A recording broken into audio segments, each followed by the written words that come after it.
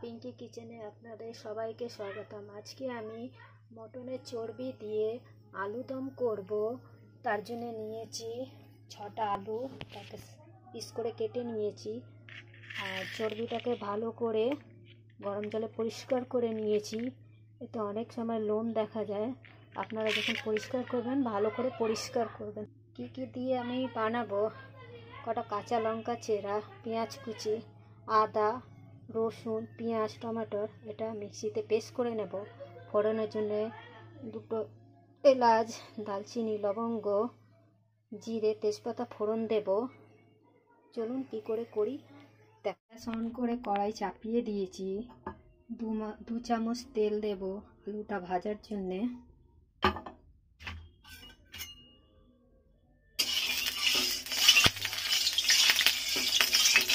তেলটা গরম হয়ে গেছে আলুটাকে দিয়ে দেবো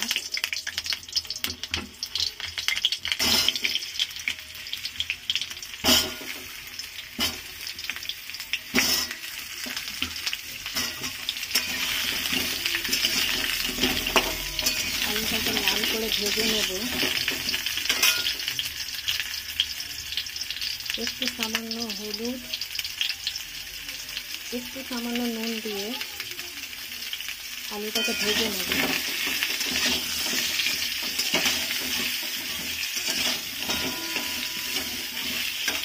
এটা গরম হয়ে গেছে।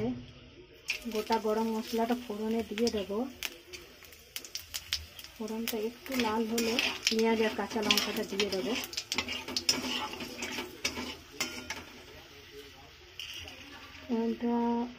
একটু লাল হয়ে গেছে। পেঁয়াজ আর কাঁচা লঙ্কা দিয়ে দেবো।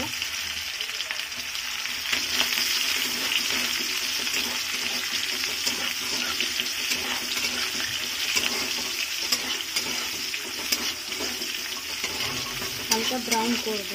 তারপরে বেটে রাখা মশলাটা দিয়ে দেবো। পেঁয়াজটা হালকা ব্রাউন হয়ে গেছে। মিক্সিতে যেটা পেস্ট করেছি মশলাটা, ওই এক চামচ হলুদ গুঁড়ো, এক চামচ লঙ্কা গুঁড়ো, জিরে গুঁড়ো, ধনে গুঁড়ো একেবারে দিয়ে দিয়েছি।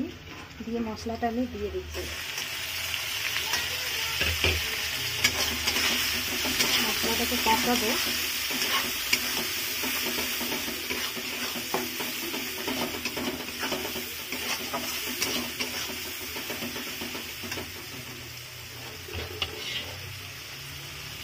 স্বাদ মতো নুন দিয়ে দেবো।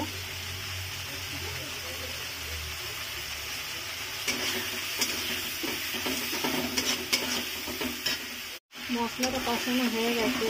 দেখতেই পাচ্ছেন মশলা থেকে কতটা তেল বেরিয়েছে। এবার চর্বিটা দিয়ে ভাজবো।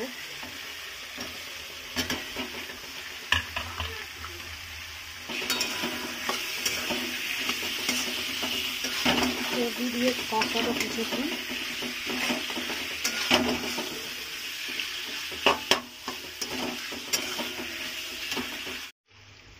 চর্বিটা ভাজা হয়ে গেছে, এবার আলু দিয়ে কষাবো।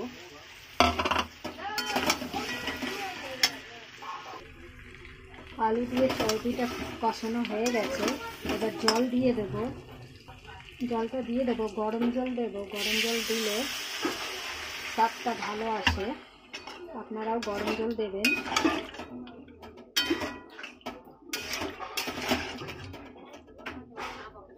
জলটা দিয়ে দিলাম, এবার ঢাকনা দিয়ে ঢেকে দেবো।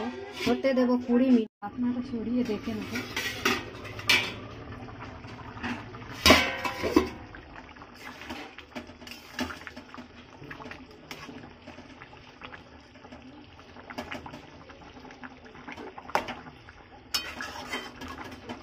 আলুটা এখনও সেদ্ধ হয়নি। হবে। ঢাকনাটা ঢেকে দিব আর কিছুক্ষণ হতে দেব। ঢাকনাটা খুলে দেখে নেব কতটা হয়েছে। প্রায় হয়ে এসছে। আলুটা সেদ্ধ হয়ে গেছে। কিমা দিয়ে, না, চর্বি দিয়ে আলুর দাম রেডি হয়ে গেছে। এবার গ্যাসটাকে অফ করে দেবো। মটনের চর্বি দিয়ে আলুর দম রেডি হয়ে গেছে। খুবই সিম্পলভাবে করেছি। আপনারা এইভাবেই বাড়িতে করবেন।